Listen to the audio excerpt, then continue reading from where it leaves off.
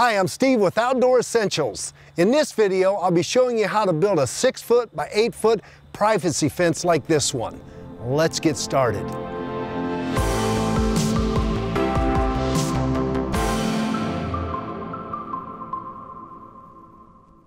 For this job, we'll need four by four treated posts, three eight foot backer rails per section.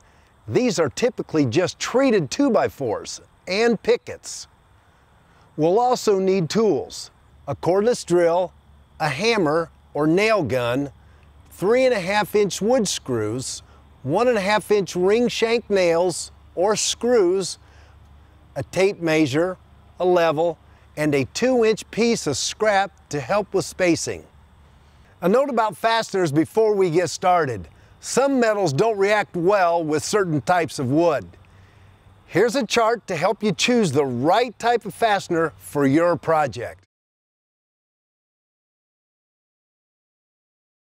As you can see here, we've already installed our posts. We've installed these posts 8 feet on center, meaning the distance from post center to post center is 8 feet. We installed them this way because we'll be face mounting our backer rails like this. If you're mounting the backer rails between the posts like this, you should install your posts with eight feet between them.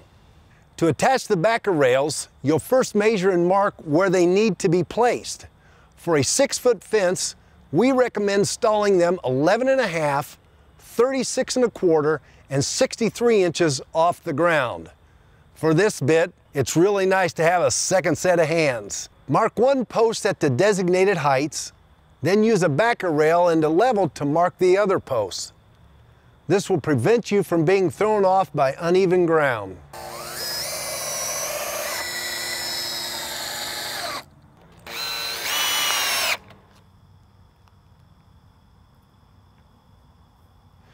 Now it's time to attach the pickets to the rails. If you've got an air nailer, you'll save yourself a lot of time. Pickets should not touch the ground. We recommend a two inch gap between the ground and the picket. Start at one end of the rail and check for level and plumb every three to four pickets.